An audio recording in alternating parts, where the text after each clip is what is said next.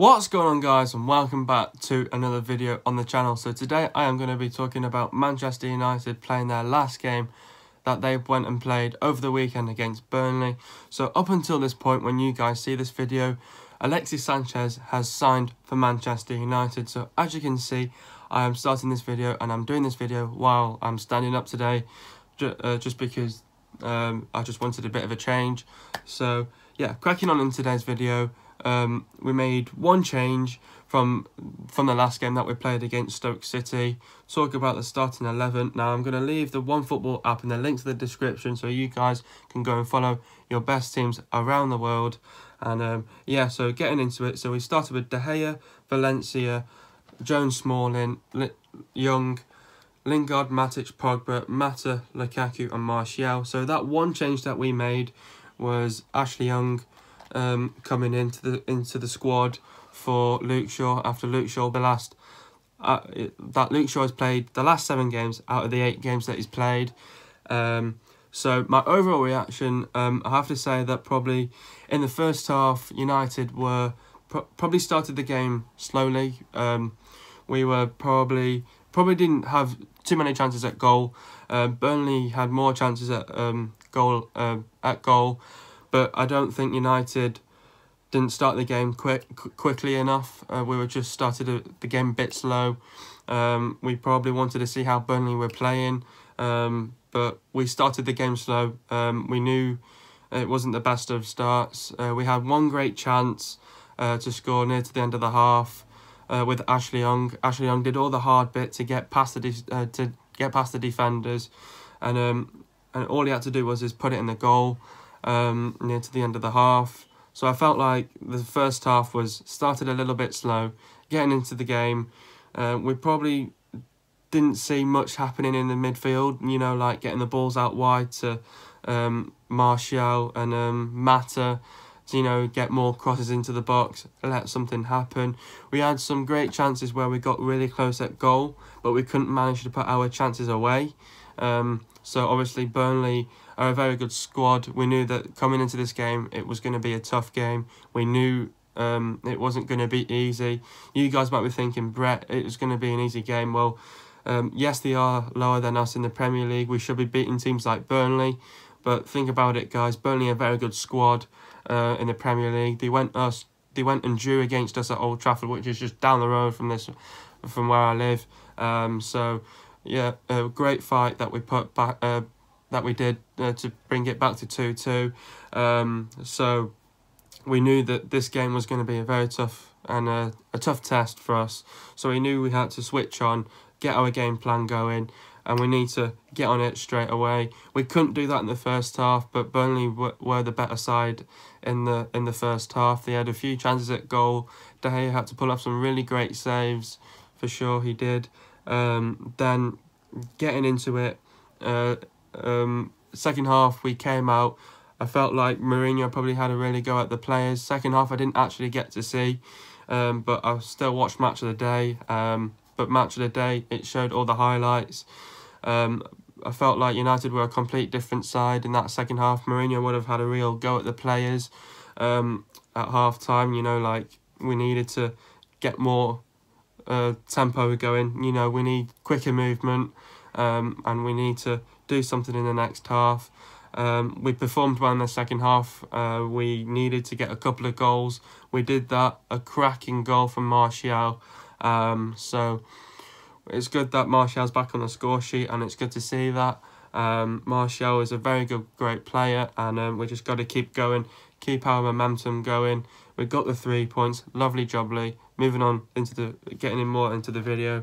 So, like I was saying, United didn't have many chances at goal. Um, we um, we knew that that this going going into this game, it was probably going to be sort of like both sided, where Burnley have some chances, United have some chances, but mainly in that first half, Burnley showed more, you know they were they were more on it in the first half than United. United, I don't know if they were switched off or we just started that game pretty slowly. Um, it's down to the players really, um, really, and um, yeah, we knew it was going to be a tough test though.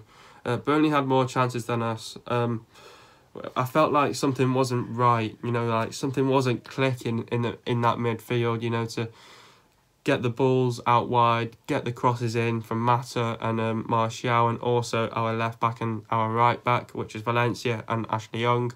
Um, now, talking about Ashley Young and Luke Shaw, now who is better? Now, obviously, uh, everyone loves Luke Shaw. Uh, Luke Shaw's made a great comeback uh, since af- after being all injured because he's an injury prone. I like Luke Shaw. Luke Shaw drives it down, literally down the wing and get the crosses in. The thing is about Ashley Young, um, he does perform well. He's a player that probably struggles a little bit in left back. He does. He did have a great goal. I can't remember who it was against, but um, it's very hard to pick from um, out of those two out in left back. Um, so I wouldn't say United were dominant. You know, uh, we uh, we I wouldn't say we had most of the possession, and I wouldn't say that we, we weren't mainly in control of that first half. Like nothing much happened for us in the in the first half. Um, I like the fact how we got close at goal, but we just couldn't take our chances. Um, and obviously, um, Burnley were frustrating us in that game for sure. Um, and um, yeah, like I was saying, that Ashley Young had a really great chance near to the end of the half. He did all the hard work getting past the defenders, but we could not get the ball into the back of the net. They didn't. There wasn't in, enough spin, you know, on the ball. Um, second half, we needed like a plan B. We needed to lift the tempo. Uh, we needed to change up our tactics as well. We needed to get more crosses in from Valencia and Young um, because they're on wingers and and their job is to you know make something happen and create the chances as well. Uh, Mourinho probably had a real go at the place at the at half time for sure, like in the team talk. When we came out, we were a complete different side. Um, we we were straight away on it, you know, straight away. Uh, we were all, all around Burnley. We were probably dominant. Um, we had most of the possession. Like we, we only just had a little bit more of the possession of the ball, really. But I wouldn't say that we were really in control of that game. Um, uh, but we did put away a brilliant goal by Martial. Um, first goal, Lukaku only just got possession. Great feat. He sees Martial in the open space. Martial shoots and it went in the top left corner. Great finish, 1 0 up. So I was like, lovely job, Lee. We're 1 0 up now. Let's keep going and let's keep going. After that, Burnley had some really good opportunities to score. Uh, we sort of let Burnley into the game a little bit. Burnley were sort of all around us. That was the point where United needed to sort of like clear the lines a little bit and um, get the ball out of our half, get the ball into their half. Um, after that, Burnley had some real good opportunities to score. We should should have there been a, pe- a penalty for Burnley. I'm going to leave that in the i button for you guys to go and vote. Um, I think it was just a, a clear a clear good challenge, great tackle. Um, and um, once Burnley were all around us, I felt like Mourinho should have reacted quicker to get our some subs on. We should have probably done our subs a little bit earlier. Um, and um, we brought on Fellaini for Mata. Um, once that changed, because obviously you know that Fellaini's a, a CDM, and um, he helps out really the central defence midfield so he can also drive it forward and he also can sort of sit back in defence as well. So we changed the formation to a 4-3-3. We actually started this game a 4-2-3-1 but we changed it to a 4-3-3 um, probably into the game um, as well. Uh, then, af- uh, then after that, again, Burnley had a few great opportunities to score. Uh, we brought on Rashford for Lingard so we could get more attacking on the right wing. Um, so we but we practically had Martial and Rashford on the on the right and the left wing really to help us out and to also get at Burnley and to social show a bit more passion out on the wing and get more crosses in. And let's try and get another goal you know to put them uh, to bed as obviously. Uh, nothing much happened except a few corners uh, now and there we did uh, our last and final change Herrera came on for Martial to waste time. Um, I also, uh, when I was watching Match of the Day, uh, the likes of whoever was um, doing the Match of the Day, the likes of Jermaine Jenas, Gary Lineker, and who was on it as well, they were saying like um, there was, we had two great chances uh, to score from. Like we had players out on the wing, uh, we had there was one great chance where Pogba should have passed it either to probably Rashford or Martial. Instead of passing it, he took the shot. He was being a little bit greedy. We did the same thing once again. Lukaku um, had players uh, on the right and the left wing. He should have done the easy option, passed it, and we would have and we would have been two or three nil up. So I felt like we should have put probably put Burnley to bed um, if we pick, uh, if we did the right decision instead of being a little bit greedy, taking a shot, but where it deflected off their defender and um, it's just a bit controversial for that to happen. But in future games, we need to pick out the right pass.